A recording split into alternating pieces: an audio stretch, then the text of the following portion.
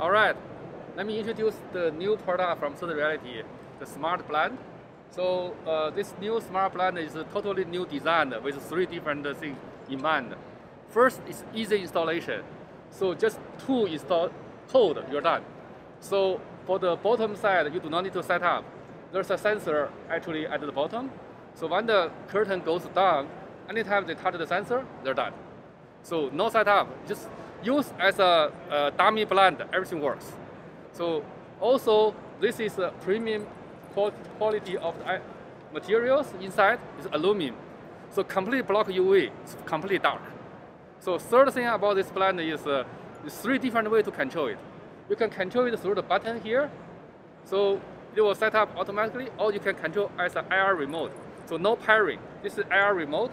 You can do it anytime. You can just you know, shoot any smart blind, it works. Also, this is complete Zigbee. So through any Zigbee compatible device, you can actually use Alexa, Google, anything through the smart curtain, you can control it.